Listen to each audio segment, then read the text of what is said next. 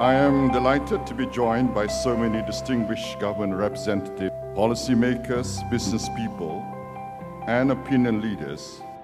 In ASEAN, we've always taken regional security very seriously. Seriously indeed. In many ways, that was the raison d'etre, the very reason or one of the pillars for the formation of our association.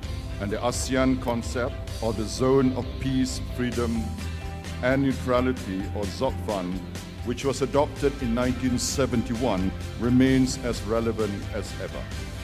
It called for our association to remain free from any manner of interference by outside powers in order to broaden our strength, solidarity, and close relations.